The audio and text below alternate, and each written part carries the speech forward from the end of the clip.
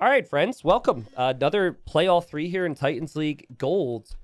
And a very important one here for both, but more important for El Matador in terms of survival. Uh, Matador was one of the promoted players who came up to gold through silver, and he has one win out of six games. However, he got 3 0'd by Nicov, who is an incredible talent, who I think everyone believes is just going to go right back up to platinum. And then he lost to Hart 2 1. So getting a win off of Heart was huge. And then after Sebastian, the two players he will play are Target and Z40, who are two other players that were promoted from silver. So uh, I played with El Matador in a team game tournament recently, got to know the guy, um, chatting to him pretty frequently these days. And I told him yesterday, I said, listen, dude, like, don't get too disheartened by the fact you have one win. The goal for you against Sebastian get a win on the board minimum, and then just win your sets against the other two players, and you're safe. So we'll see how it goes. But um, anyways, he's gone for the Byzantines here on Coast to Mountain, which is our first game. Sebastian, guys, he uh, beat Heart 2 1. And then he 3 0'd somebody. No, no, no. He, he, sorry, he beat Heart 2 1. And then he beat Target 2 1. And Target's a player I haven't casted yet in uh, gold, anyways. But Target, very similar to Matador in the fact that, that those wins that they were able to snag uh, and to avoid the sweep against big names could end up saving the day for them. So both players have gone for a dock. It's Byzantines versus Persians. Persians starting with the extra 50 wood and 50 gold. Or sorry, not gold at all. Um, 50 wood and 50 food helps them to squeeze out that second fishing ship with this type of a build. This is actually seems to be the build, the go-to build for players on this map, where you send a villager to dock right away when you build the TC, as it is a nomad start, and then you chop the stragglers for the fishing ships.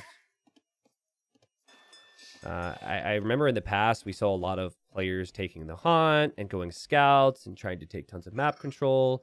And water was not an afterthought, but it wasn't your primary build. It seems like it is the primary build for both of these two now. So I'm kind of feeling like this is going to be a battle for water in early feudal.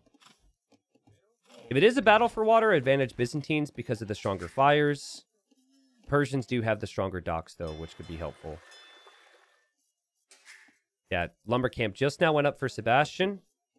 Lumber Camp will have to go up for Matador here, but he, he squeezed in the third fishing ship. So he doesn't actually have the wood for the Lumber Camp yet. But he will likely send the villagers over here to the to the mountain, uh, the wood lines on the left side, and should be headed over there shortly. Well, Sebastian's up already? Dude, these build orders are ridiculous. I think it's it's borderline too fast. Like, I don't know if it's worth it to kill the fish. There's still part of that old meta in my brain, but this is a ridiculous uptime. But basically, it's one lumber camp for the wood economy. And then he's probably going to locate a gold somewhere over here. Which he actually cannot find right now. Oh.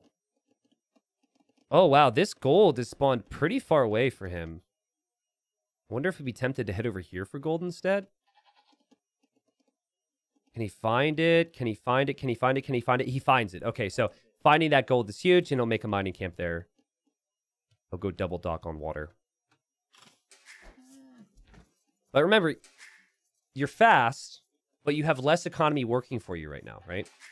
So you're more at the limit in terms of what you can afford, which is how things tend to play out here. Yo, thank you, Debris. I'm a huge Matador fan. Matador is one of my favorite players in gold. And I think the guy, like, he has all the skills in terms of the, uh, what's the word I'm looking for? He has all the mechanical skill. He just needs experience uh, which something like gold is going to give him a lot of here. Yeah, it didn't really look like there was anyone that could challenge him in silver either. He was playing really smooth. You want uh like a slight bragging moment from me? I beat Matador in our practice series. We played five games. I beat him 4-1. And then I proceeded to lose in the second round. So that was great. but I beat this guy in a practice series. So that's if practice means anything, woo. But unfortunately, practice doesn't mean anything. So yeah, this is if I were to play this for the first time, having not seen any of these games, uh, any games on this for months and months and months, this is kind of how I would play it. I think I would add in some fires with the Byzantines, but just like one or two, and then I would go for a stable into scouts.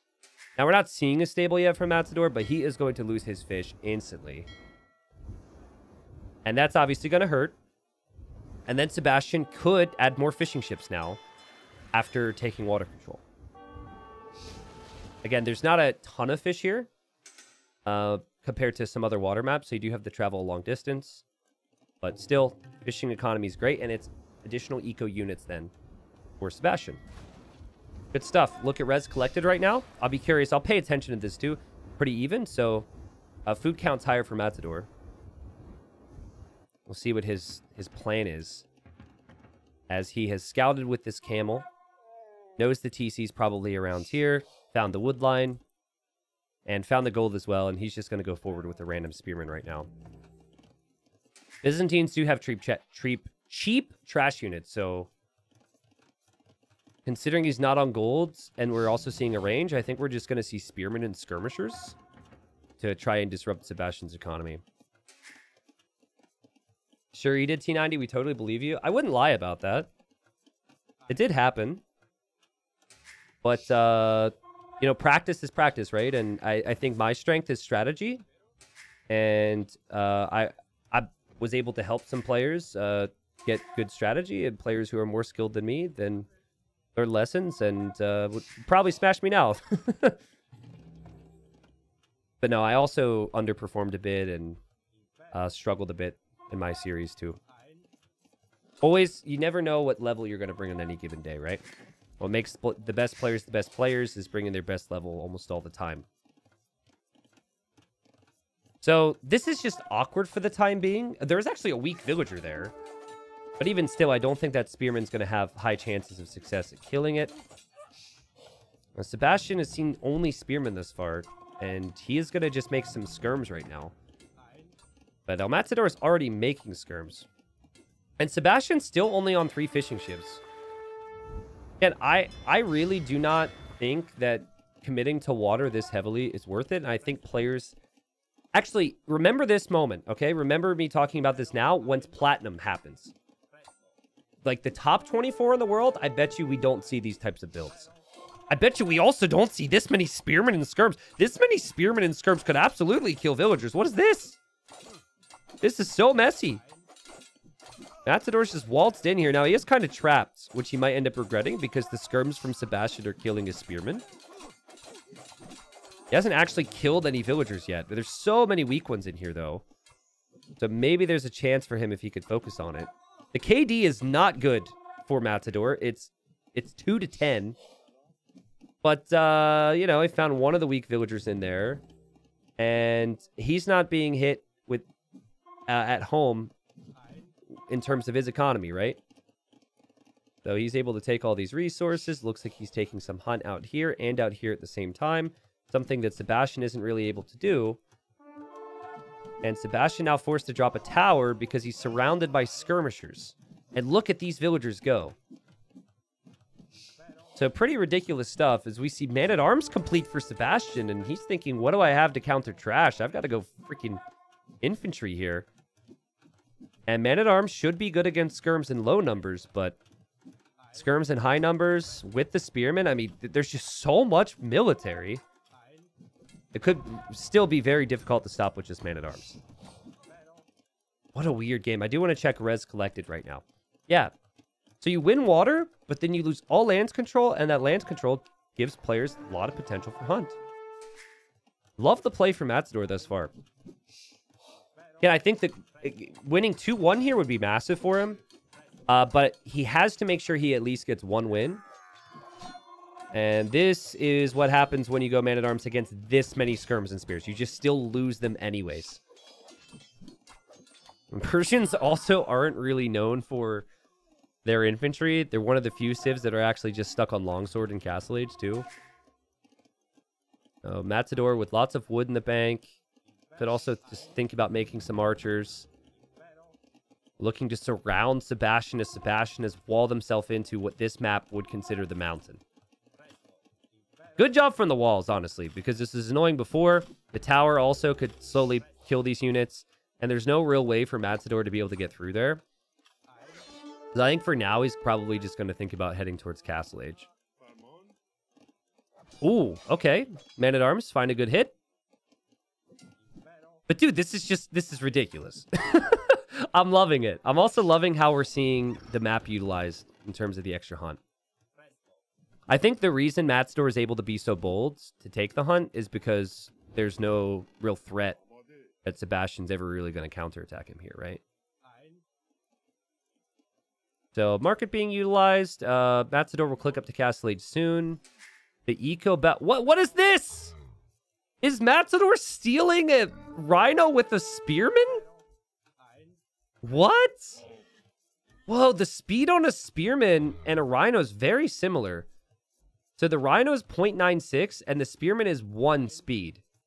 So actually, he he could bring this rhino the whole way across the map or and I guess like over to his villagers. Now he's distracted with other things at the moment, so it might not work out. And look at Sebastian chase it. he's gonna kill it all the way out here, which is I guess further from the mill. What a ridiculous game. These man at arms is what Matador was looking for. Um, and Matador is on his way to Castle Age now. And Sebastian up to five fishing ships now. So now I feel like, you know, water's paying off a little bit more for him. And the spearman numbers, well, they're on their own, so not what they would want here. Spearman numbers still probably enough to kill these man-at-arms. This has been a very messy game for both players here. And Sebastian's going to use the market, buy some food, and then click up to Castle Age as well. Still want to check res collected here. Matador's collected a thousand more resources. And he's going to bring skirms over to these villagers, skirmishers. Dang, man. I mean, the spearman that ended up dying earlier is the real MVP because he brought the rhino over here. I'm pretty sure Sebastian had just told his villagers after this deer, you go kill the rhino, when the rhino was here. And he's just now realized after hearing the attack signal that his villagers were all the way over there. That probably makes no sense to him. The stable's going up now for Matador. And that's probably going to be for knights. Uh, could be for camels if he thinks his opponent's going to have knights. Byzantines do have very cheap camels. And I, I love his position. I think a second town center in this area to protect the resources would be perfect. His economic situation's awesome.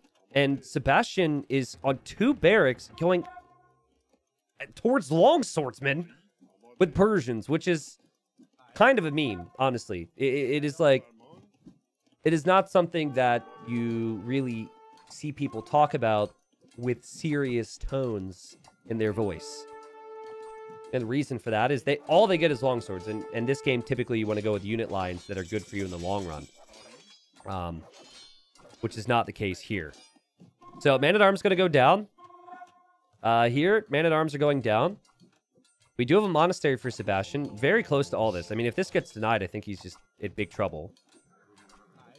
Getting squires now. Um, we have double monastery now to try and get monks out here to counter these knights, but the push continues here from Matador. Two town centers. Could even go for the third.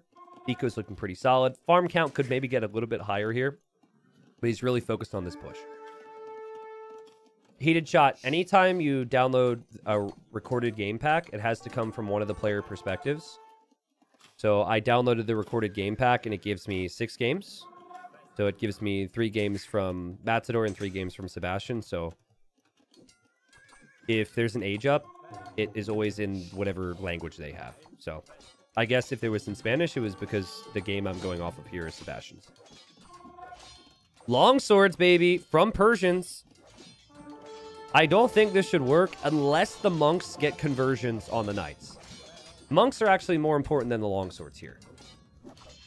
But the skirmishers could be used against these monks. Uh, maybe kind of awkward.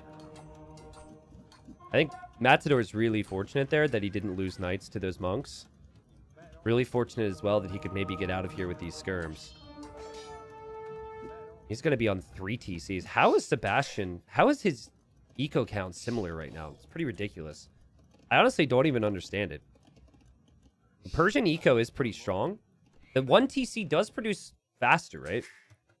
Persian TCs start to work faster from... Um, uh, I think it's in Feudal Age, right? 5% faster in Feudal, 10% faster in Castle. Oh, this is... Uh, that would be such an amazing find for Matador. You could tell he's thinking about these resources, but he wasn't actively paying attention to that. And the push from Sebastian starting to really build up here. It's still a lot of long swords that haven't been dealt with. He builds a siege workshop with a purpose there. Knights could still kill the longswords anytime they wish to, and they're going to here. Sebastian pulled out of position. But something is going to be needed for these monks right now. Persians also lack sanctity, so their monks are not all that strong. But yeah, what a frustrating moment. You you thought to look for this, and then you had the knight over here, and you weren't able to deny the TC. This is never really an exciting situation if you're in Sebastian's shoes. Or, or sorry, Matador's shoes. Alright, so Matador is going to add his own monks. And he kills a couple more villagers over here. But he does get pulled out of position by Sebastian. And, oh man, the monk goes down. And wow, this is actually working. This push is actually working. El Matador, he doesn't want to engage against this because of all the monks. And pretty soon, the siege is going to be able to attack this TC. Monks are so important, man, to our meta these days. And I, I don't know about longswords, as the light cav looks like it got a kill and then got converted. I actually, if I, I want to go back and look at this. I think Matador took an engagement. Oh, no, I'm wrong. Okay, I was going to say that he took an engagement while it was just a scout. But yeah, four monks will convert faster than just one monk, so it makes sense there that Sebastian doesn't lose everything. So, I guess El Matador is not going to be able to make more light cav because he's lost his stables now. He never really made many in the first place, and here comes the siege push. Skirm still trying to disrupt the farms and whatnot. Kind of awkward for Sebastian there. But more awkward for El Matador, who has the villager lead, but still is under a lot of pressure right now.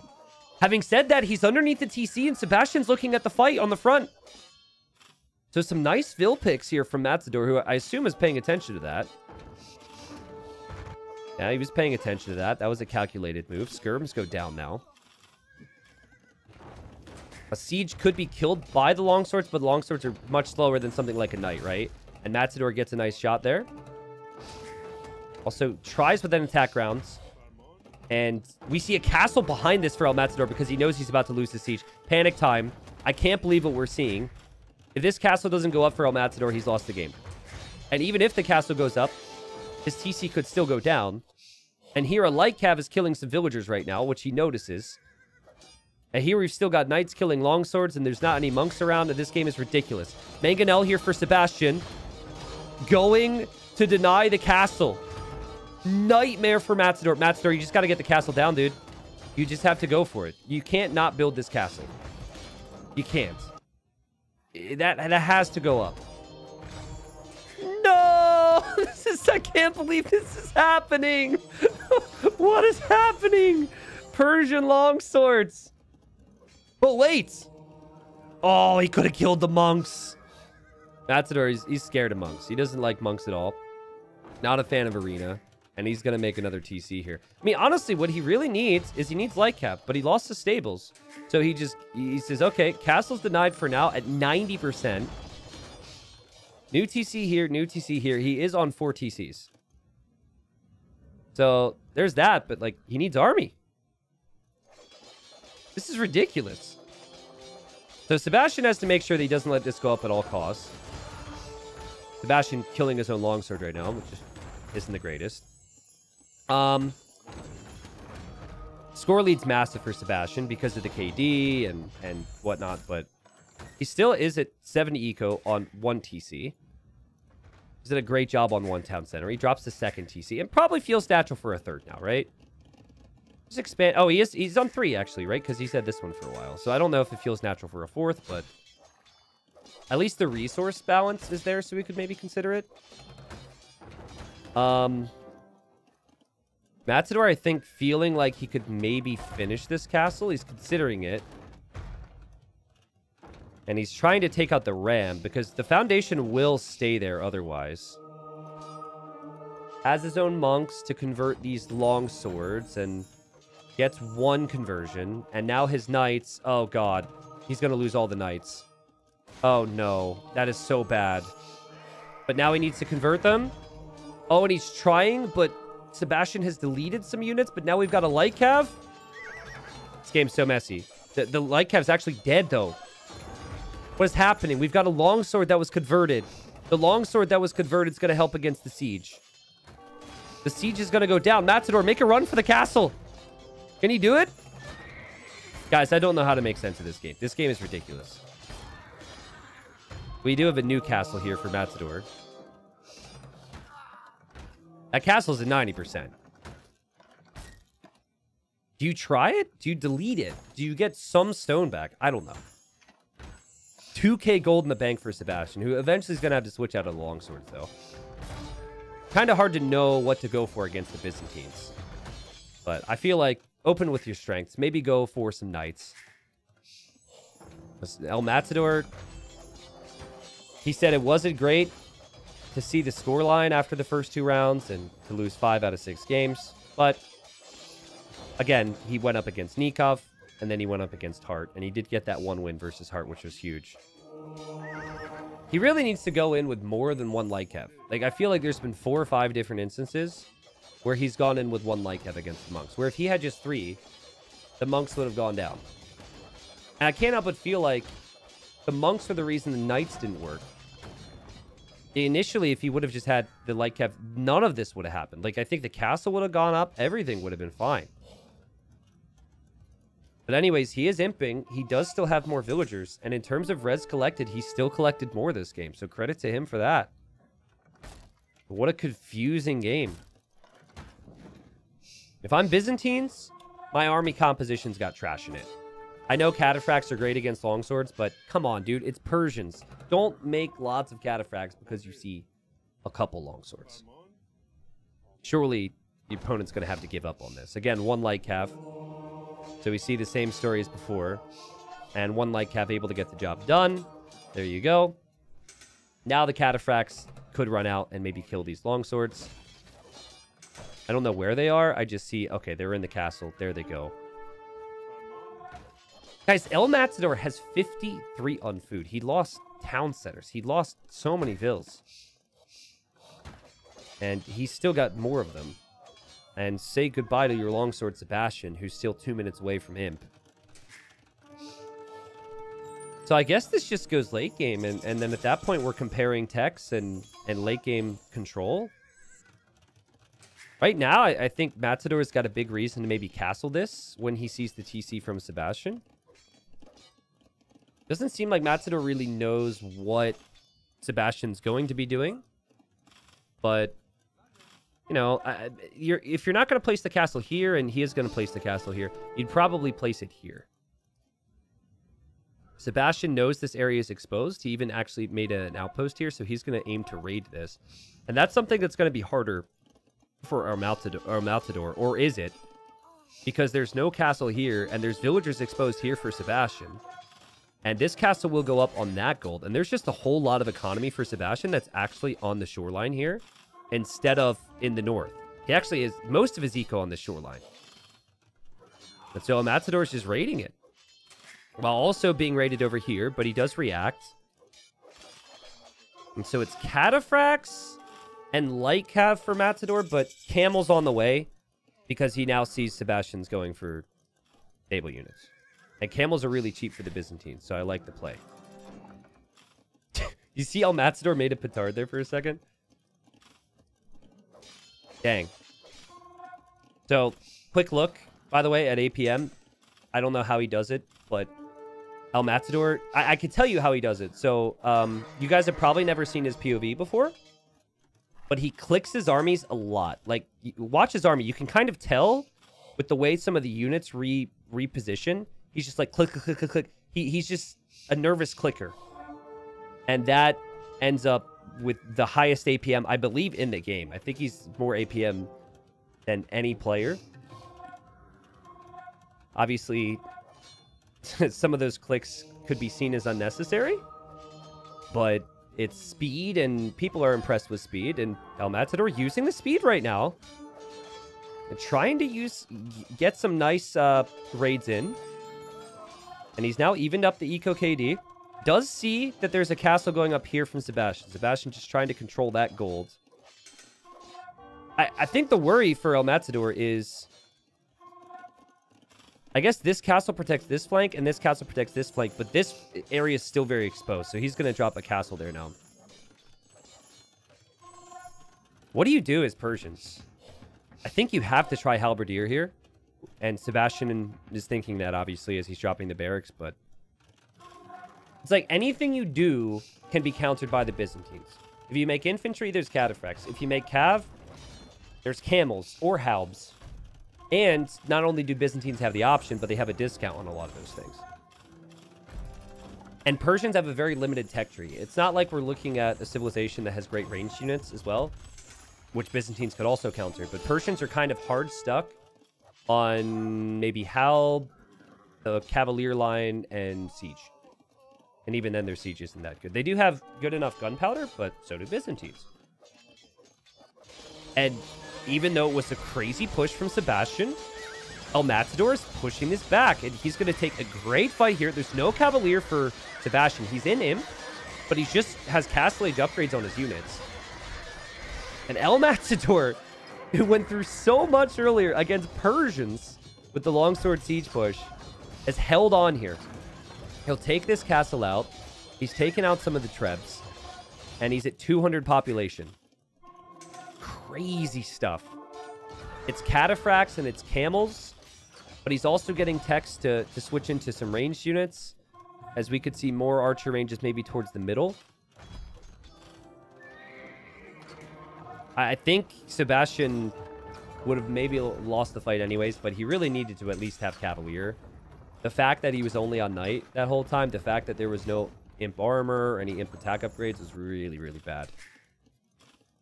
He had control, but then it just all is withered away. And again, good luck breaking the Byzantines here, right? Tries to go in with the Cavalier, maybe for the Trebs. Matador is ready for that. Elite Cataphract is on the way! 155 vills for Matador, 102 for Sebastian, and he's dropping villagers big time. I don't think you can counter Elite Cataphract. You can counter Elite Cataphract maybe cost effectively with Halb, but if El Matador has the golden come, and he might not because there's raids here, you get enough Cataphracts and they'll even stomp the house. It's a risky game, though, to rely fully on Elite Cataphract. I think we should see some ranged units mixed in for El Matador. But I like the confidence, and I like the damage he's doing here. Still hasn't noticed that he's losing villagers in the south, so he could lose 20 or so villagers here. Has gold here. Might not have gold here, but has it available. Also has gold available here. What a game, guys. Sebastian still not giving up. He's just got one trebuchet here, though. And the castle's going to do quite a bit of damage here. It has six kills, seven kills now due to Bracer being in. And these cataphracts and camels still haven't been killed. And the GG is called El Matador holds on, takes it late game with the Byzantines, and gets the job done. Honestly, this is a big one for his confidence. Because had he lost this game, I know exactly the moment I'd be looking back to. You really should never have these types of struggles against the longswords in the siege. But I'm going to take you to the moment. I kind of I alluded to it earlier. Okay, so where is it? Um, right about Okay, so now he knows his opponent's going monks, right? This is the moment. So he ends up going like Cav. Eventually, it took a long time. And maybe he didn't have the food. I don't know. But he went with one light cav. That whole time. And I think if he goes for four light cavs, he's in, in a moment like this, he's got what? Eight or so knights, seven knights. Okay, seven knights even still, I think you move in with the light cav, you kill the monks, and then knights are able to take an effective trade. You keep your stable up. This is less effective for Sebastian. Your castle's never denied. I, I just think light cav were really what was lacking there. But then again, maybe his food count wasn't there. It's still a great win for him. But again, an important one because I think that would just really break your spirits losing eh, against the units that Sebastian was making. For Sebastian, I feel as though he probably just committed too heavily into water. I'm still not convinced that going that quickly for the fish is worth it on this map. And, you know, he lost land control against a civilization that has a lot of options. And what a great performance from him to push. But he wasn't able to kill off this guy. And even though Matador lost more eco in the mid game, he was expanding pretty heavily. More wood, food, gold, and stone collected there. So Matador gets a really important victory in the first game, Byzantines versus Persians. And Sebastian falls back to a map that we've seen a lot so far in gold, and we've seen it a lot from him. Uh, in his previous series, where he played against Hart and won the series 2 1, Sebastian uh, played as the Portuguese on Spiral and ended up getting a victory. So here he is again. Again, Portuguese, and then we've got uh, Matador playing as the Hindustanis. Not a Civ that I was really expecting to see here. Uh, but I think Hindustanis can be good with booming and good playing into stable units, which you tend to see a lot of here. Uh, earlier today, we saw uh, camels from Gurjaras and Malians. The Hindustanis have pretty strong camels to work with. Two tiles of gold and stone next to your starting town center, and then the name of the game is expanding to the extra golds and stones. Portuguese spend less gold on their armies, so you could get by. Uh, you could produce more army with what you start with. And then also, I think the fact that there's a big area of berries is great for the Portuguese because you get wood income while also bringing in berries. So, not to mention their great tech tree. Portuguese is just a really solid civ to take map control with. Both players have broken out the sheep and the cow, which is kind of a tiny little feature of this map to start it off. Uh, did I enjoy Australia? Yeah. And thank God I did. Can you imagine if I was like, no, it was horrible, and I had to travel 30 plus hours to get there? I had a really good time. Um, I mean, it, it was kind of like a three part trip. We were in more tropical area, I guess you could say, of Australia for the first five days. And then we were in Brisbane for five days and then we were in um, Sydney for five days, and it was awesome. Uh, diving the Great Barrier Reef was better than I even would have dreamed. Honestly, it was just beautiful, beautiful dives. We got to see so many cool things. Uh, got some pretty cool stories out of it as well, as the conditions were quite rough, and we did some night dives, uh, which one of them, I thought we were going to die. The swells were insane. the wind was insane. I cannot believe they let us go out there.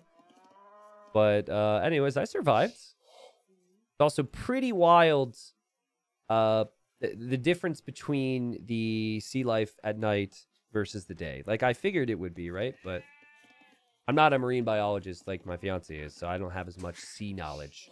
But dude, you're down there at night and it's all the predators are out, right? So just like, I think we probably saw 30 plus sharks on our whole trip. It was a three day diving trip where we, we lived on a boat uh, as we were like two and a half hours off the coast. But yeah, we saw a lot of sharks. I, we didn't see that many big sharks. Uh, so you guys are imagining I'm swimming next to like eight foot nine sharks. No, no, the majority of the sharks we saw were smaller, so maybe two to three feet. Uh, but the thing about those sharks is they're not like they're not like uh how do I I don't, I don't know how to describe this. Like the big sharks, they they tend to stay away. They don't want to be around all the plebs, right? The big sharks, they they kind of command respect. The tiny sharks, they're just swimming with all the other predator fish trying to get some some grub. So you got to see uh the smaller sharks a lot more. That's all. Man eaters? No, no, no. No man eaters, thankfully. Or at least I didn't get eaten. So we lost a couple people. We just thought they drowned, you know, but maybe they got eaten. kidding, kidding, kidding. Uh, anyways, so yeah, Australia was really cool. I'm sure I'll have more time for stories, but I had a good time. Both these guys have gone for docks thus far, and that is common on this map. Three fishing ships for Matador. The water generation for El Matador really hurt him here. Because he couldn't find a shorefish. So he can't have a villager here. And then two of the fish are over here. Honestly, a lot of that's just scouting. But... Yeah, I mean, still a bit unfortunate for him. I think Sebastian's had a slightly easier time. So what Sebastian did against Hart was he opened archers and he walled up a lot. I haven't seen Matador play this map yet, but I feel like the natural thing to do with Hindustanis would be to go scouts here. Uh, is it true that everything will try to kill you in Australia? I mean, there are a lot of things that can kill you, yes. But, you know, we, we like, I went, we went in a pretty long hike um, up a up a mountain at one point, and we didn't see any snakes or like any. There are these big dinosaur-looking birds called cassowaries. I don't think they kill people, but they look like they could if they tried. We didn't see any of those. Um, everything was pretty good. Like, the rules that I follow as a Floridian are pretty much the rules I followed while I was in Australia. So it's like, don't go into like deep brush. Don't go, you know, into thick vegetation because there's probably some things in there that will bite you. So, and the the the biggest thing about Australia, I think they've got lots of insects as well, but it's like majority of the time the snakes they could kill you if they bite you. So, not a big snake guy personally. All right, so scouts engaging here. Very fast up times for both players. Very similar builds. And Matador is going to see it's a range opening for Sebastian. So Sebastian, again, sticking to what has worked for him thus far on this map. I was not expecting players to leave this map open as frequently as they did, guys. Like, this is, seems to be a map where everyone's comfortable because we're seeing it a lot. And it's 11 map map pool for play all threes. There's a lot of bans that the players do, and it just hasn't been a map that people are banning.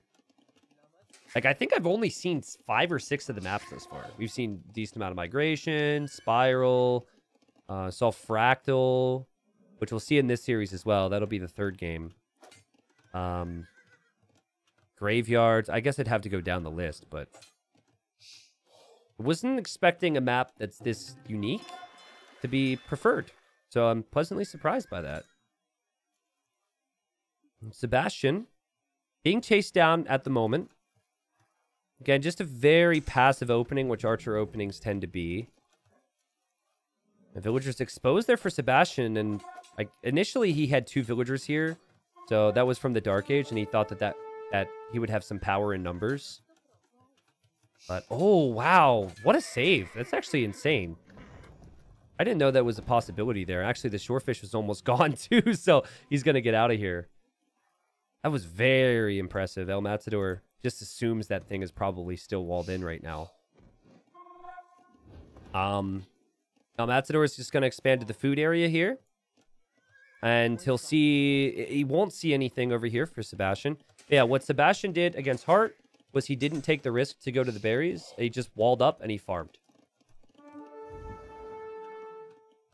Oh, he's using the spears at home right now. And he is going to move out with his archers with one spearman.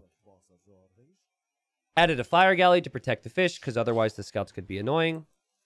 And the kid from Uruguay, I think I can call him a kid. He was born in 2002. If you're born after the year 2000, you're a kid to me. Is that fair? Ugh, that shudders. It's just so young. Anyways, I'm an old man now. Uh, and Matador is unable to break through because the kid from Uruguay, who may or may not be a kid, depending on your definition of it, got his walls down. But he's not able to do any damage with this army, and it has been all El Matador so far in this game. And El Matador hasn't lost any fishing ships, right? El Matador not really that exposed right now. He is good farming eco. He hasn't collected more resources, interestingly enough. But you feel like, in theory, he will do so because he has this. I don't know. There's also huge benefit in just not being able, not being exposed to any attack. Town Watch was researched by Matador, and he's building houses all the way along here. He's also building outposts for vision because he knows that it's possible Sebastian will sneak. Uh, Debris, remember, it's a play all three. So whether or not Sebastian wins this, we will see a third game. So you don't need to worry about rooting for a player just to see a third game. Every get every win matters, and you play uh, every opponent in your group three times.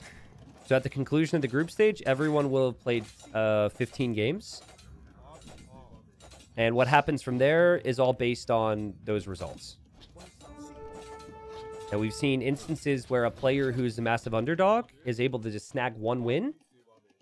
And that one win makes the difference between them surviving in the long run and staying up in gold or being relegated. So every win counts here. And ooh, I think Matador went a little bit too far here. Is no spearman, guys. I think if he had a spear or two, maybe he could force the scouts back and get away.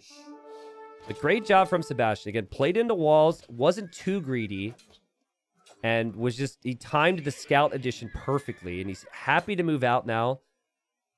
And El Matador has to be really careful here because he could lose all of his villagers here to these archers now that he's going to lose most of his skirms. And didn't try and add a spearman. It's tricky to do that now too, right? Because if you do that, then the archers are going to be there. So instead, he's just going to trade away his skirms. He knows he'll lose them, so he's trying to kill the archers with them. But, oh, man, that's rough. This is a rough time to lose control. But he's going to leave uh, the berries altogether. And he is on the way to Castle Age. And just like they arrived at Feudal Age at similar times, they're going to arrive at Castle Age at similar times. Man, these guys are so good. This is funny. Look at all the vision he has down here. I want him to research Town Patrol. In Castle Age, he'll be able to see half the map. Dang. So, kind of a forgotten bonus of the Hindustanis these days is that their uh, scout line, or I guess their light cav, get extra pierce armor. I'm actually second guessing myself on if the devs removed that from them. I don't think they did. I think that still exists. I think that's still a thing. Anyway, so if you see archers, I think adding uh, additional scouts here makes a lot of sense. Uh, the scout number right now is six for El Matador, but I think I remember a scout in the south not doing anything. I mean, that's weak. But that would be the scout you'd want to be scouting the map. Yeah, he'll want to clamp down on these archers before the archer mass gets upgraded. Um, is on stone too, so maybe thinking about Ghulam.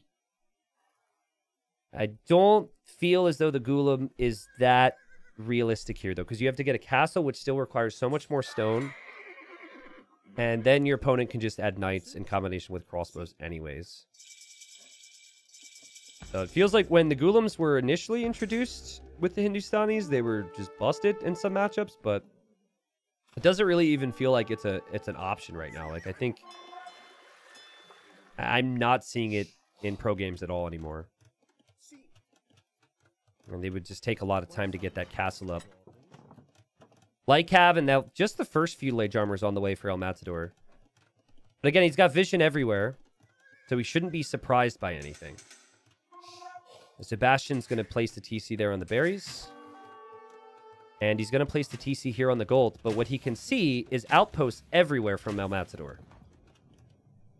So Matador knows the armies here for uh, Sebastian. And he's actually sent his weak light cav here to try and deny the TC. But unfortunately for him, it's weak. So I'd still feel awkward about this. Like, Sebastian's very much in the dark on this, so he's going to just wall in his vills just in case. Okay, I wanted to see the light cav. Okay, so yeah, they don't have the extra armor on their light cav line anymore. Yeah, okay, so so what I, I remember they gave the Hindustanis the final armor in Imp. Um, but I, I forgot that that was kind of what they'd taken away. Did you see koalas in Australia? Yeah, I held a koala actually, which was an interesting experience.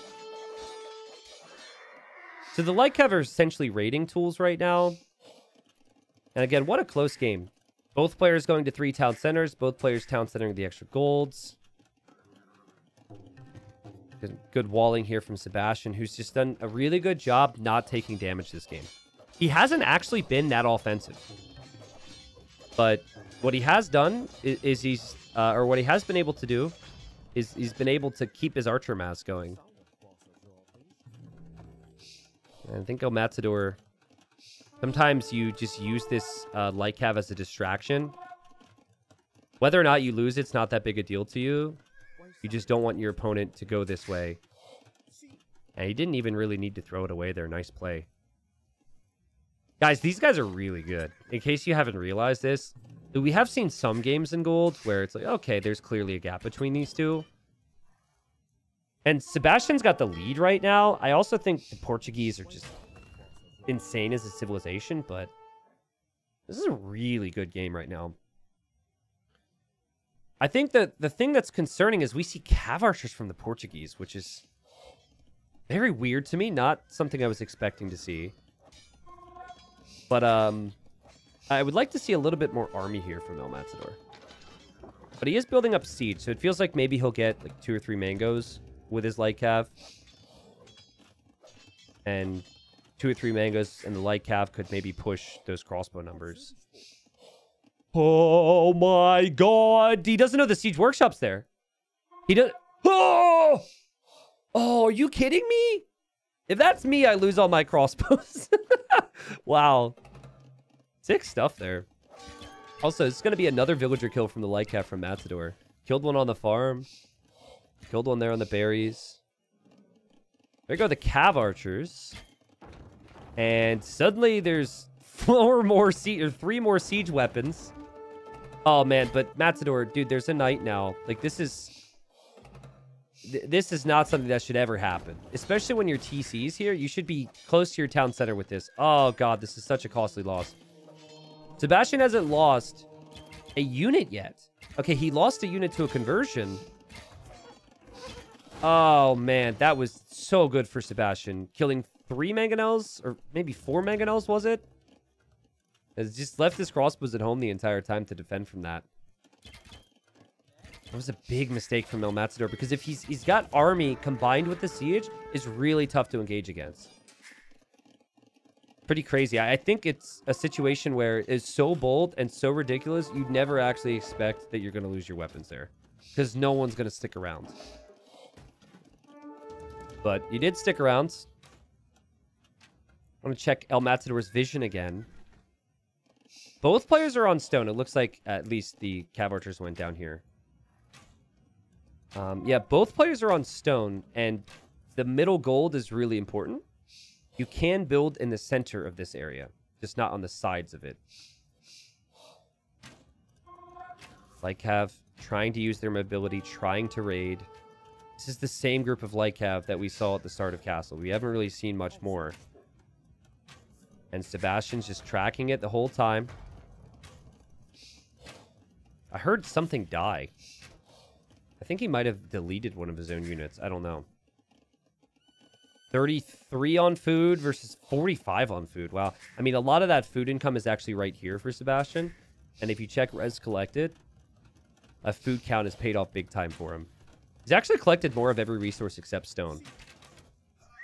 Is that the case? Yeah, that's the case, but Matador has either spent more stone or maybe sold some of it.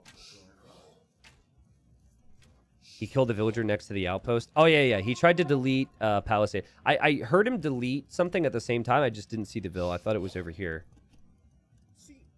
Yeah, Sebastian killed one of his own villagers. What a noob. but always going to walk forward and build a castle here. I'm just like...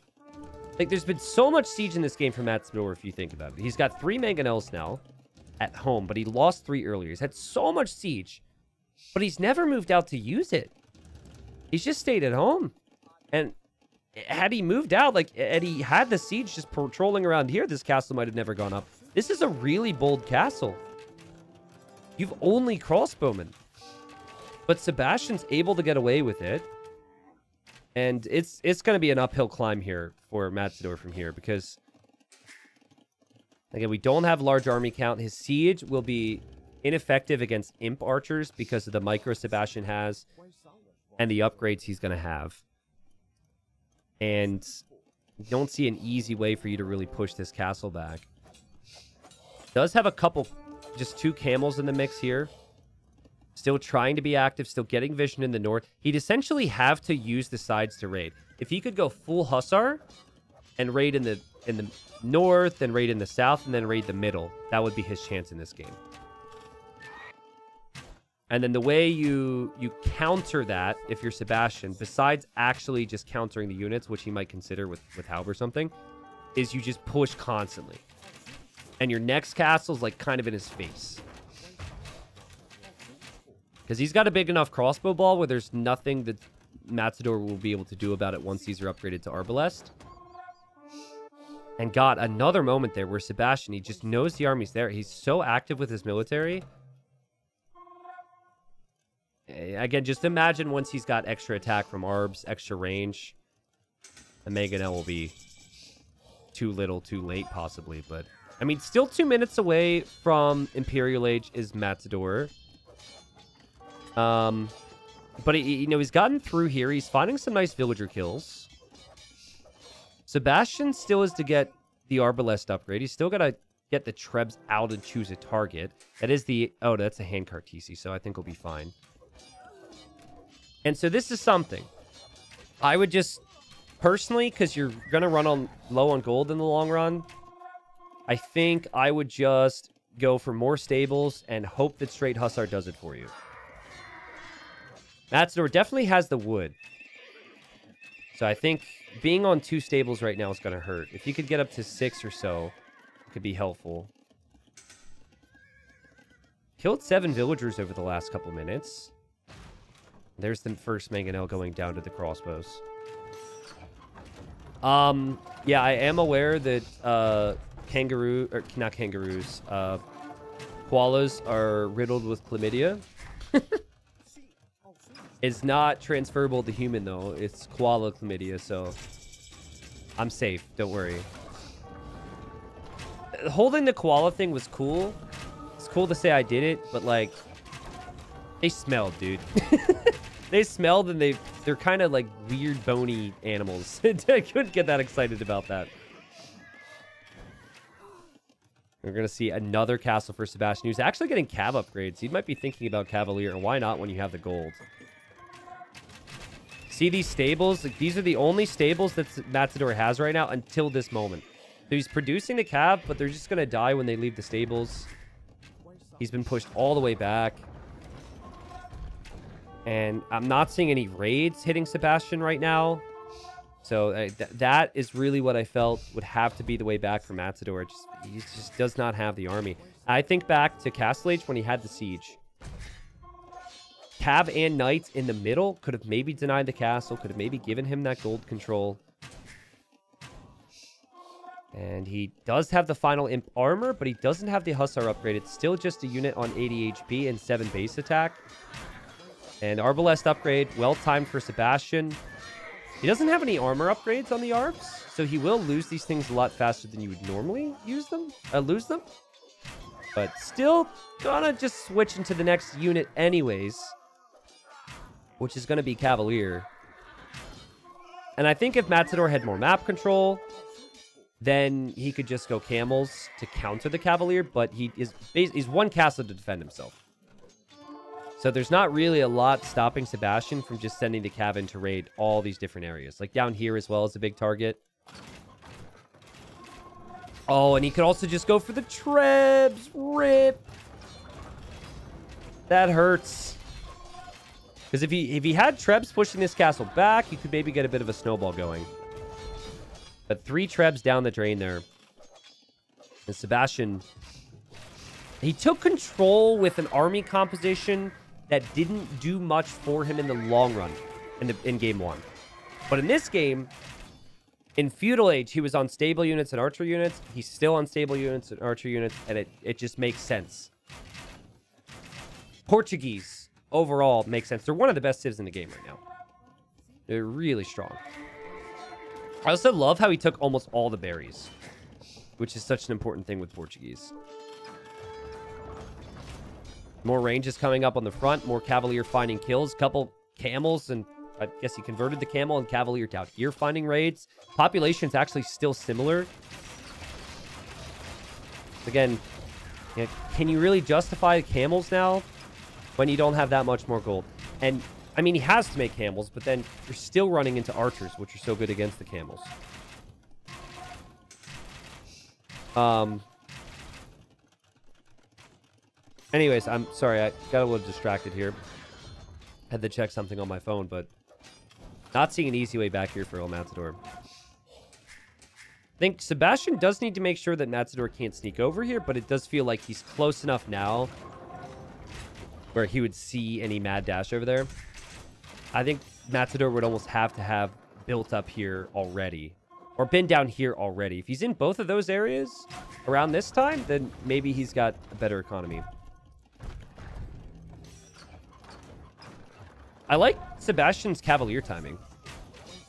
He actually started to get the text for Cav before he got Arbalest, which I think sometimes I, will question, like, make sure you, you fully upgrade your main unit line before you switch into another one.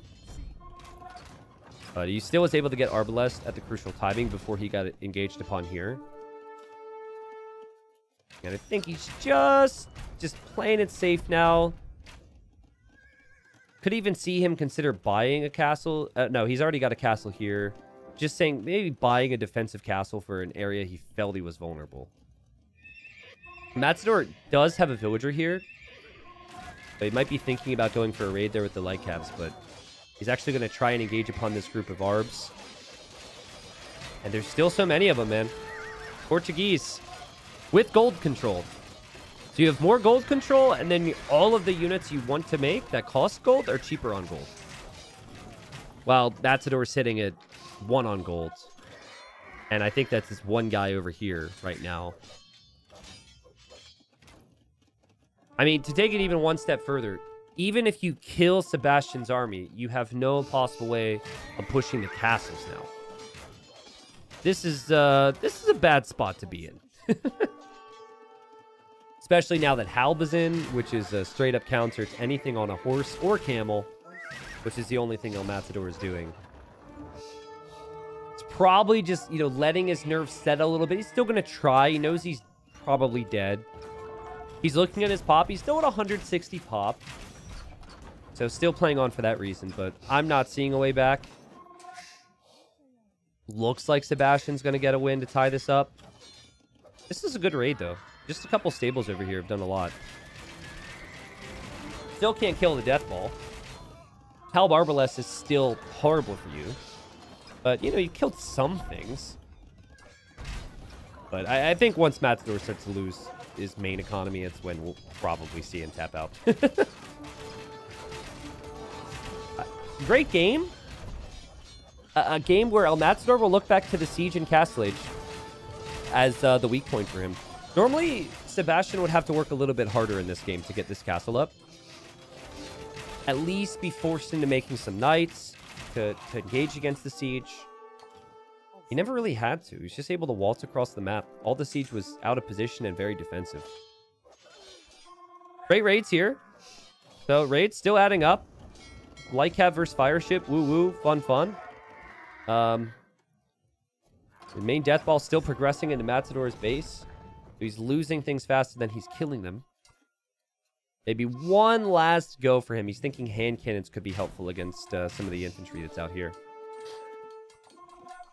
He's in the back corner of the map where there's tons of grass, by the way. Whoa, what is this? I have never seen grass go off the map like this. Be careful where you plant your grass, guys. Who's throwing seeds off the planet? And what did that get stuck into? What in the world? That is not realistic. You know, that has really ruined this game for me. But it's okay. Those farmers aren't going to have much of a life if this army continues to progress forward. And yeah, GG's called. Sebastian ties it up. That was pretty clinical from him the whole way through. It's interesting to me how he gave up the berries and then took it later on in the game. He's like, let's make sure I'm defensive. Make sure I take army control, and then I take the berries. Where Sebastian went aggressive early, or sorry, where Matador took went aggressive early, was utilizing the berries, and then eventually had to leave them. Um, it didn't feel like Matador was hugely comfortable with the Hindustanis, but I think maybe he was expecting more of a out and out knight civilization from Sebastian, where the Hindustanis could have been a good guess. I, I didn't look at the draft or anything; it's kind of hard for me to know.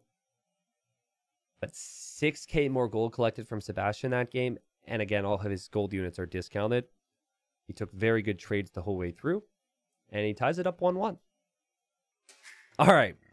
So, game three, this is El Matador's home map, and he's got the Goths here. So, I, I imagine that El Matador might treat this similar to Socotra, if you guys know that map. And he might might want to make this extremely messy through the middle. Goths get loom instantly, and the players are pretty close together. And Sebastian's not messing around here. You only get one elephant on this map. So he's just going to bring in this elephant right away. He doesn't want a player playing as Goths to be able to steal it. So uh, Matador in the red. I, I do want to talk. There's going to be a lot of laming here, but just because players might not have, or viewers might not have seen too much of this map, uh, I just got to explain some of the aspects to it. So you see all the water out here? You can access the water by chopping through the reeds. And whoa, look at them. That's kind of trippy when I zoom in like that. Anyways, 50 wood per reed, which makes it very doable to chop through. And if you're going to do that, you want to build your lumber camp here. And there's kind of a meta for that. I think both players should probably know that. Uh, the villager for Matador is currently walling in the berries for Sebastian. And then Sebastian has actually brought a villager forward to try and shoot these deer down. But he doesn't have loom, and he has been found by Matador. I think Matador was headed over to build that lumber camp. And this villager gets quick walled in. Well played, Sebastian, as he just gets loom for now. Yeah, I prefer the Malians, right? The cheaper wood buildings, a uh, bit of a gold boost, gold income boost uh, with the way their bonus works there. Uh, very good tech tree, great archers, great knights. Um, they just, it's more exciting for me. Goths, their hunt does last longer now. But still, in terms of their units, you're mainly thinking about infantry.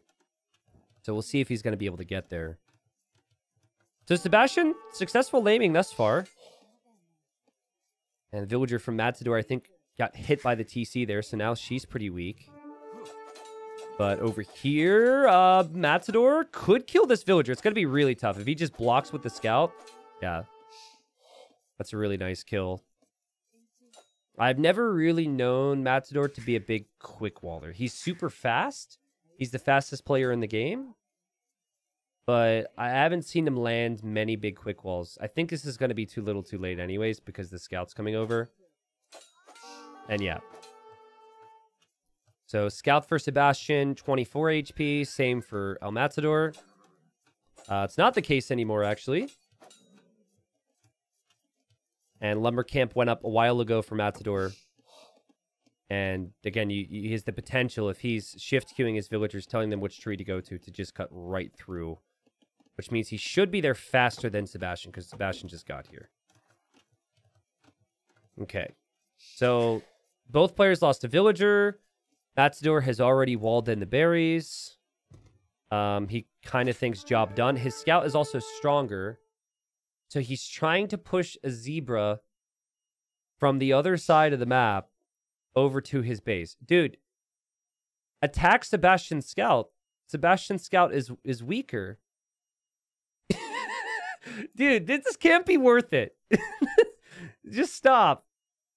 Stop it. This cannot be worth it.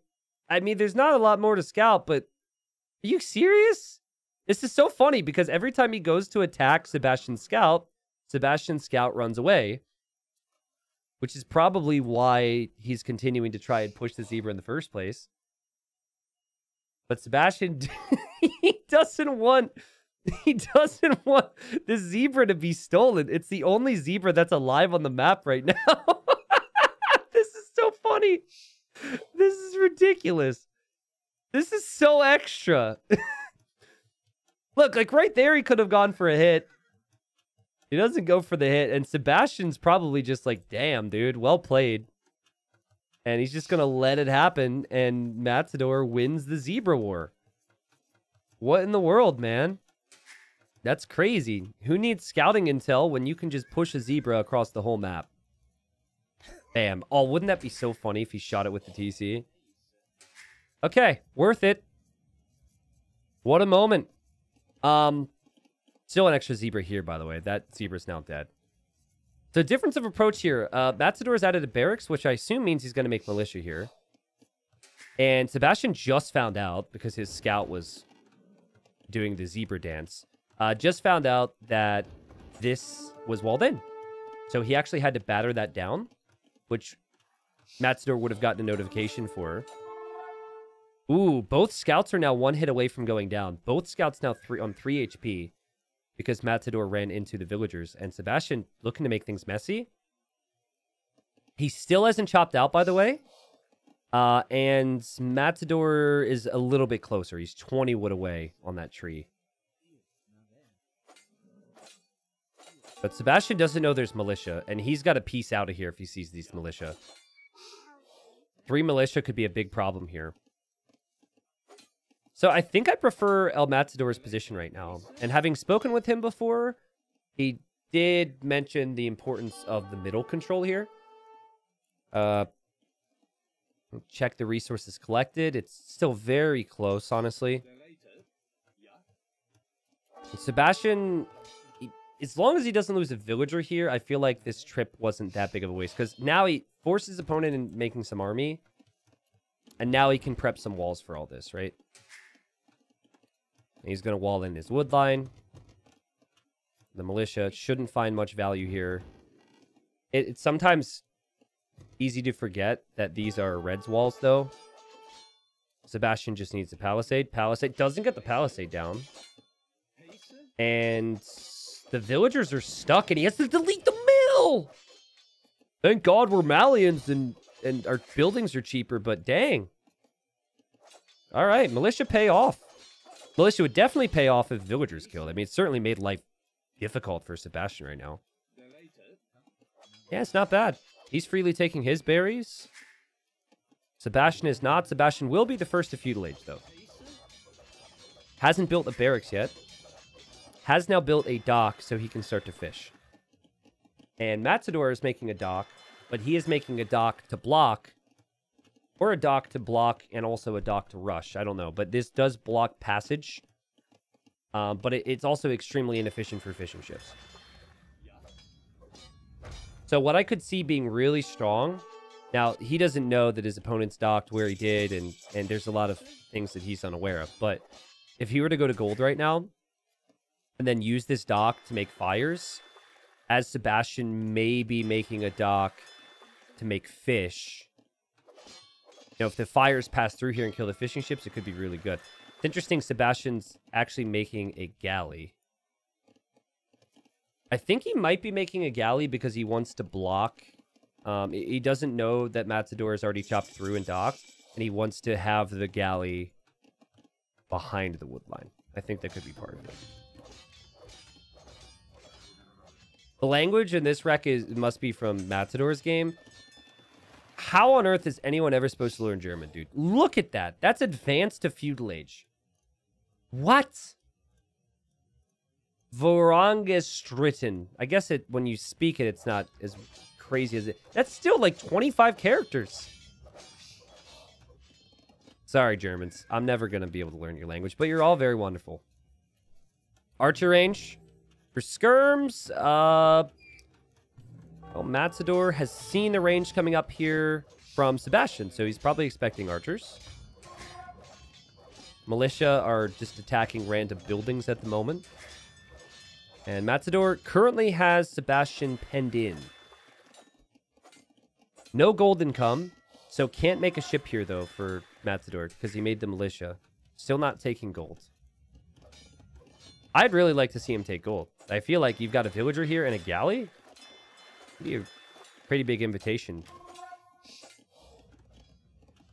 Hmm. German isn't actually that hard to learn, in my opinion, as an American that learned it halfway anyway. Okay, got it. I'll take your word for it.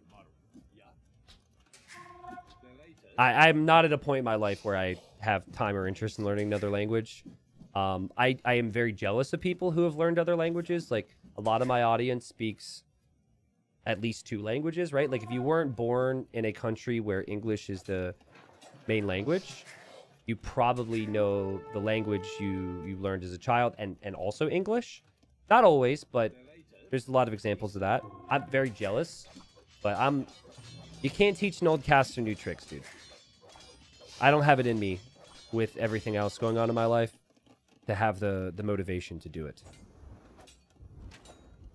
Another dock for Matador. So he's still not making ships. He's just using the, the docks for the blocks. And he now runs under with the skirms. There's no army to stop skirmishers right now for Sebastian. So this could be a pain. So he's placing these gates.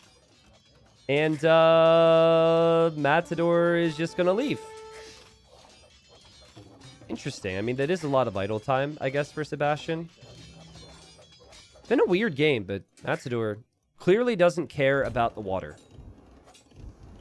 Or Sebastian, at least, is being aggressive on the water. Uh, only one fishing ship for now, but he's going to add a few more now, and he's, he's going to have Navy eventually breaking his way through here. Hmm. The thing about English is that our simple words and grammar come from German, but most of our words over two syllables come from French and Latin. Yeah, I definitely knew that. Yeah, I was going to say that, but uh, I wanted to to make History Whiz and chat look good, so... Yep. I agree. Archer range is going down, but I'm pretty sure Matador is, is not expecting archers from his opponent anyways, because he sees the stable here, and the stable is a fresh stable. Fire Galley does eject from the dock, but there's still a lot of pressure coming here from Sebastian. And it's just one dock remaining here for Matador. Who is going to lose this dock, it seems like. I think, if anything, you want a demo here. Demo and then a fire would be really good. He's just been sitting here with his skirms attacking farms, because when farms are being attacked, farmers can't work on them. In terms of res collected, El has collected more wood, and he has collected more food. It has been the gold count that has separated the two of them.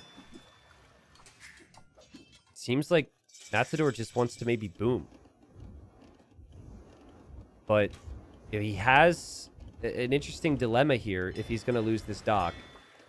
Because he'll lose his fishing ships. Looks like he's already lost his fishing ships. You don't want to have too many villagers next to the shoreline because the Navy's going to be there. So he's actually moving over here. He does have a scout here. So I think he might be considering a TC in this area, which I haven't really talked about much yet, but there's lots of stone and gold there.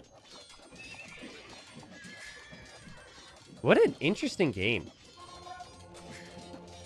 The main theme that I've noticed on this map is that uh, I think it can be very clowny in that a lot of players will go heavy on gold with civs like Bohemians, Malians, I remember seeing it. And they'll use the market a lot. Um, but because there's a decent amount of gold here, and players are pretty close through the middle, we see a lot of monks. I don't think Matador is expecting there to be monks right now, because he doesn't see it. He's probably just feeling good that he's maybe able to take out the stable. It does have to abandon this whole wood line now. Probably should just make a lumber camp down here. I don't know where he's going. The second TC's up. Uh, stable stays up. I'm guessing because the monk was trying to get a conversion there. Sorry I didn't show that. And two monks on the fields with five in queue for Sebastian, but I think that will change because he wants text now. Yeah, yeah, yeah. He didn't know about the siege until just now, and now he will go for redemption, and he will go for sanctity. Yeah, so now his monks can convert siege. But, I mean, the eco looks awkward for Sebastian right now, doesn't it? He does drop the second town center. He does have eight fishing ships bringing in food, which is insane. Okay, guys, this...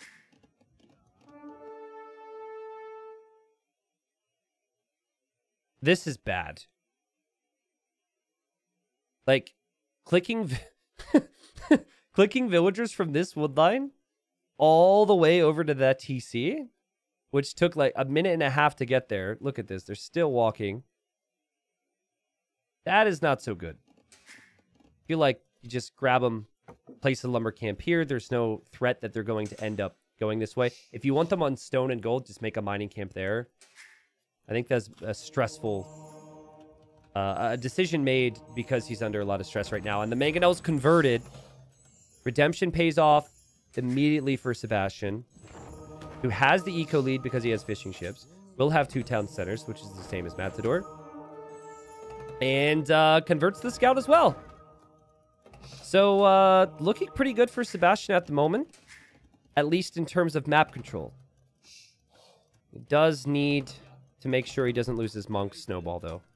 The thing about a monk is you convert enemy unit, which is great, but then pretty soon they can convert again. You get five or six of them, and uh, or seven or eight or nine or ten or seven thousand because he's going for two more monasteries, and then the snowball completes. Earlier in this series, uh, it was game one, which Matador had crazy game. He was also up against a lot of monks, and he went for light cav. So I think he's thinking about the same here but I think it's going to be mainly castle defense that keeps him alive. And we've officially reached that point of the game where players goths, and you're like, okay, what bonuses are they working with right now? Not seeing too many bonuses at play. Well, these eight fishing ships in the north still bringing in food. We'll see Sebastian focus on a few more farms here, slowly but surely, and Man, it sucks you have to make a defensive castle because of a Mangonel your opponent converted. Like, this castle could have gone up anywhere else if this Mangonel was never on the other side. I'm sure Sebastian probably would have added siege anyways. He would have made a siege workshop and worked for it himself, but panic times for Matador. Overall worker efficiency is pretty close. Over the last couple minutes, it's been a problem though, and Redemption Monks doing Redemption Monk things. Sebastian is just thinking, how can this guy possibly hurt me? I'll convert his houses. I'll add another dock for a few more fishing ships. I could even bring this villager around for more fishing on his side. And I... I don't know what Sebastian... Uh, what, what Matador can do right now. He's never able to get the scouts pumping. So the stable will be converted. So he has to delete that. There's a blacksmith too. He doesn't have any blacksmith upgrades. Has to delete that.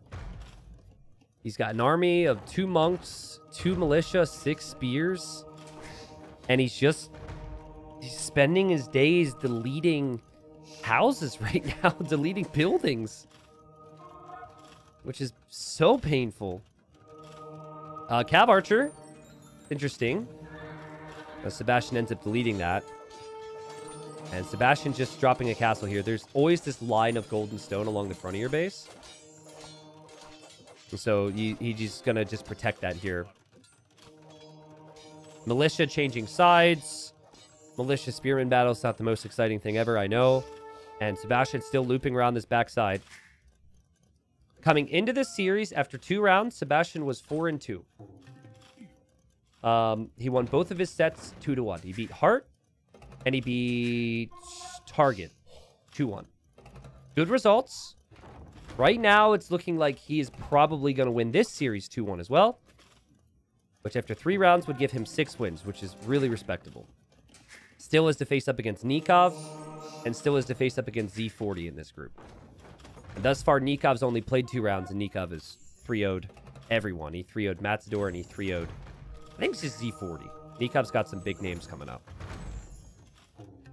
But yeah, this this eco is just horrible. Like, I'd love to be more positive for Matador right now, but he's like... He's got enough stone to make two castles. What does he do? Like, maybe you chop through here, and then maybe you YOLO over here and drop a castle and hope that Sebastian has opened that up or something. But it seems like this is going to be a race to Imp and Trebs, maybe. But now Gbeto's come out of this castle, and oh, God. Oh, this is so painful. Second denied castle in the game, uh, in the series, sorry. For Sebastian against Matador. The other one was denied at 90% and never completed in the game in the first game, and Matador still ended up winning that game, which is nuts. But yep, both are on the way to Imp. Seems like Sebastian's faster. Sebastian will be able to make a second castle too, which would mean that he'll win the Trebor. And yeah. Not sure about the infatuation with Goths, guys. Hart went for Goths on Spiral against Sebastian in the uh, series that they had played in this group. And Goths lost there. I don't know. Maybe people think that Sebastian is very weak against Goths. Listen, I'll be the first to say it. Goths are Goths are way better than they were after the somewhat recent recent buff, right? Where the hunt lasts longer. And I get it from the land control perspective, maybe. Because this feels very Socotra-ish, but it isn't Socotra. You're not quite as close. There's water elements, and you need Civ bonuses that last you the whole way through the game at a high level. The Goths just aren't one of those Civs, man. The Gbetos and the Monks and the Siege, everything's just done the perfect job right now for Sebastian. And uh, is the final game of the series, so I'm sure Matador doesn't want to call this. Mm, he's hoping that his opponent's not in the way to end. That's the thought process. But I think he might end up tapping out once he sees that his opponent is an Imp faster than him. Gbetos are such a nice unit here. Can kill villagers very nicely. Very good against infantry. Perfect against the Goths. Might be one of the best units you can make against the Goths, honestly. So, I mean, Matador isn't seeing that Sebastian has, has cut out here yet. So maybe there's a world. He also, I don't think he was even spotted over here. So he's maybe thinking he could hold here and expand his eco into the sides. Uh, Sebastian coming out with one trap, dropping another castle now think he will aim to go for hand cannons as well. Because now you want your castles for trebuchet production and not Gbeto production. Malian universities work faster. So we'll see chemistry and it'll be it'll zoom right in. What's your army, man? If you're Matador. I don't think you have one. You hope to take out the castles, win the castle war, and then figure it out from there. 8 on food, 10 on wood. Villager here from Sebastian. Villagers. I think he initially had a villager, and then I showed that there was a villager attacking um, that villager, and I think that vill got converted. You even see a tower there. And the Gbeto are through. Sebastian has played very well, and El Matador is making my life difficult as a caster right now by continuing to fight. But it is his right to fight. And fight he might. And um, he's soon going to be out of sight. And uh, be very contrite. Uh, did I say might and right? Sight. No, I said sight. Um, the game's not very tight. Um, I don't know. Anyways, uh, insert word that rhymes with all of that here as the Trebor is going to go Sebastian's way because he has more of them. And even if he were to lose the Trebor, I think it would be very difficult to ever find a way to, to get yourself out of this one. I don't know if I've ever seen a player with so little food and wood in the bank at this stage of a game. He's got less than 30 of those resources combined. And Sebastian gets another 2-1. But okay, so let, let's talk about this. So again, Sebastian, six wins after three rounds. He's got Nicov and he's got Z40 left. Z40, he'll be the favorite. So I think at the very least, you say Sebastian's probably going to end up around eight wins. He is in a position to fight for first place with Nicov, if you think about it having beat every player so far two to one, and he hasn't played Nicov yet. If he can beat Nicov and then get wins against Z40, which is one of the promoted players like Matador, you could see Sebastian up around 10, 11 wins maybe. Um, it's tough for me to say right now because like Nicov is, is my favorite in the group. But it's tough for me to say that Sebastian can beat Nicov. But honestly, Nicov 6 and 0 after playing two promoted players. Nicov has not played Hart. Nicov has not played Sebastian. So I just I, I haven't seen Nicov actually play those games yet. I don't know what type of shape he's in. It's probably phenomenal. Sebastian's playing really freaking consistent though. For Matador, it's not great, uh, but I still think he's got a chance at survival. He's basically gonna be fighting primarily for fourth place. You've got to think in the group. And actually, let's um let's go to our Statafract sheet here and actually show the odds, shall we? It's tough because there's still lots of games to be played, but I like to look at this stuff. Okay, so here we are. Is this updated? No, I don't think this includes the games. Okay. So we add the series, Sebastian Matador. So Sebastian won two games. It doesn't matter the order. All right. So the odds tell us it's actually way worse for El Matador than I expected. but he does have a 0.0005% chance at first and a 0.01% chance at second and a 0.44% chance at third and then a 5% chance at fourth place. Really? Is that really the case? He's got two more rounds up against Z40 and up against Target. I mean, Target just has one more win on him. I mean, hold on. Let me give my boy Matador some chances here. This math, is, it's going to scare him. One sec. Target. So Matador lost 3-0 to Nicov. Let's just say Nicov beats Target 3-0 as well, which isn't the wildest thing ever. Then what? Then what does this show? I don't know when that series happening, by the way. Listen, I think from here, Matador, he has two sets, right? He has a set against Target and he has a set against Z40. I think if he wins both of those 2-1 minimum, I think he stays alive. That's what was happening in my mind because he gets up to six wins. It would obviously depend on the results that the other players get too in the sets. Okay. Yeah, so if Target were to get 3 0 by Nicov, then suddenly this is more along the lines of kind of what I was thinking here. So for Target and Z40, when you're up against Nicov, get one win somehow, and then obviously you got to win your sets against El Matador. But the way I see this group right now is uh these are the actual results here. Let's see. Uh, the way I see that group is Nicov is first, or Sebastian is first. those guys fight for number one and number two, and then Hart is likely third. And of course, Liquipedia um, has updated for us here. Yes. So yeah, interesting series. Hope people enjoyed that one. Uh, very interested to see how the sets, including Target, Z40, and Matador, go from here. The next round for Nicov and Target should be versus each other. Part Z40 will be interesting. And then we've got like Z40 versus Sebastian, Nicov versus Hart, Nicov versus Sebastian, Hart, Target, Matador, Z40, and beyond. My most, ex- the most exciting sets, in my opinion, in terms of the total standings uh, from this particular group.